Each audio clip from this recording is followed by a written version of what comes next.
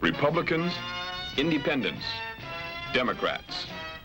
Everybody can vote for Bill Guy for U.S. Senate on Tuesday.